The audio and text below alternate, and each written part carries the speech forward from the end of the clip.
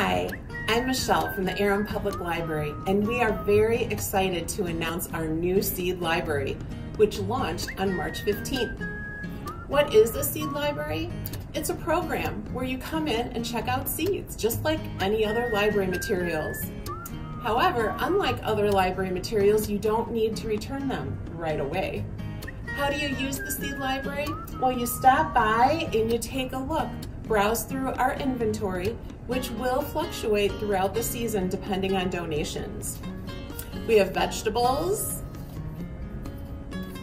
flowers, and herbs. Did you know the seed library is free to our community? No library card needed, anyone can come in and borrow seeds. So how do you start? Well, you take the seeds home and you grow, grow, grow. At the end of the season, we ask you to return the seeds to us, and that way we'll have inventory for the next growing season. If you're new to gardening or would like to brush up on your gardening skills, we also have many materials, books, videos, etc. that will help you explore the fabulous world of gardening.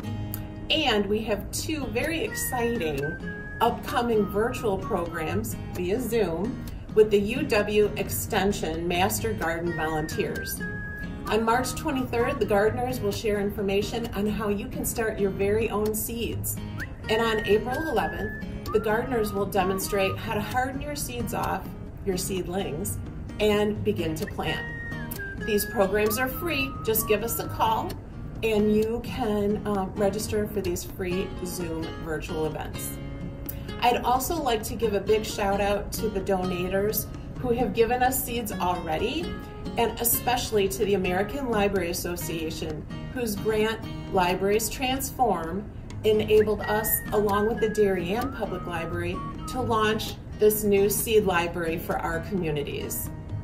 And finally, if you find that you have too much food after this wonderful growing season, stop by and pick up a pamphlet and think about donating your extra food to our local food pantries. Come on in and check us out.